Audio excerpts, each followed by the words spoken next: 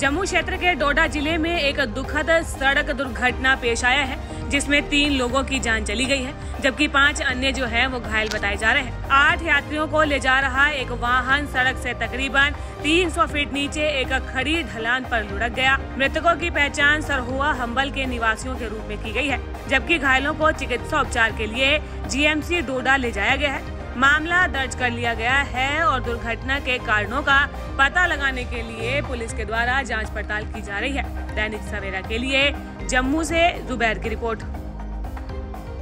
जम्मू क्षेत्र के डोडा ज़िले में एक दुखद सड़क दुर्घटना पेश आया है, जिसमें तीन लोगों की जान चली गई है, जबकि पाँच अन्य जो हैं, वो घायल बताए जा रहे हैं। आठ यात्रियों को ले जा रहा एक वाहन सड़क से तकरीबन 300 फीट नीचे एक खड़ी ढलान पर लुढ़क गया। मृतकों की पहचान सरहुआ हम्बल के निवासियों के रूप में की गई है, जबकि घायलों को चिकित्सा उपचार के लिए जीएमसी डोडा ले जाया गया है। मामला दर्ज कर लिया गया है और दुर्घटना के कारणों का पता लगाने के लिए पुलिस के द्वारा जाँच पड़ताल की जा रही है।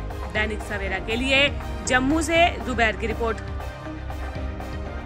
जम्मू क्षेत्र के डोडा ज़िले में एक दुखद सड़क दुर्घटना पेश आया है, जिसमें तीन लोगों की जान चली गई है, जबकि पाँच अन्य जो हैं वो घायल बताए जा रहे हैं। आठ यात्रियों को ले जा रहा एक वाहन सड़क से तकरीबन 300 फीट नीचे एक खड़ी ढलान पर लुढ़क गया। मृतकों की पहचान सरहुआ हम्बल के निवासियों के रूप में की गई है, जबकि घायलों को चिकित्सा उपचार के लिए जीएमसी डोडा ले जाया गया है। मामला दर्ज कर लिया गया है और दुर्घटना के कारणों का पता लगाने के लिए पुलिस के द्वारा जाँच पड़ताल की जा रही है। दैनिक सवेरा के लिए जम्मू से जुबैर की रिपोर्ट। जम्मू क्षेत्र के डोडा ज़िले में एक दुखद सड़क दुर्घटना पेश आया है, जिसमें तीन लोगों की जान चली गई है, जबकि पाँच अन्य जो हैं, वो घायल बताए जा रहे हैं। आठ यात्रियों को ले जा रहा एक वाहन सड़क से तकरीबन 300 फीट नीचे एक खड़ी ढलान पर लुढ़क गया। मृतकों की पहचान सरहुआ हम्बल के निवासियों के रूप में की गई है, जबकि घायलों को चिकित्सा उपचार के लिए जीएमसी डोडा ले जाया गया है। मामला दर्ज कर लिया गया है और दुर्घटना के कारणों का पता लगाने के लिए पुलिस के द्वारा जाँच पड़ताल की जा रही है। दैनिक सवेरा के लिए जम्मू से जुबैर की रिपोर्ट।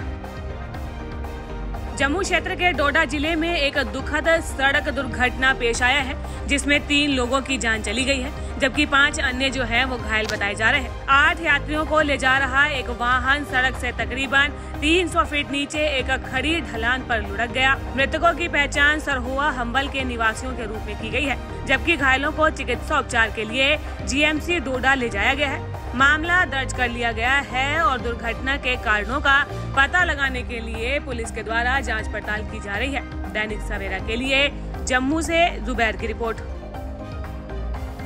जम्मू क्षेत्र के डोडा ज़िले में एक दुखद सड़क दुर्घटना पेश आया है, जिसमें तीन लोगों की जान चली गई है, जबकि पाँच अन्य जो है, वो घायल बताए जा रहे हैं। आठ यात्रियों को ले जा रहा एक वाहन सड़क से तकरीबन 300 फीट नीचे एक खड़ी ढलान पर लुढ़क गया। मृतकों की पहचान सरहुआ हम्बल के निवासियों के रूप में की गई है, जबकि घायलों को चिकित्सा उपचार के लिए जीएमसी डोडा ले जाया गया है। मामला दर्ज कर लिया गया है और दुर्घटना के कारणों का पता लगाने के लिए पुलिस के द्वारा जाँच पड़ताल की जा रही है। दैनिक सवेरा के लिए जम्मू से जुबैर की रिपोर्ट।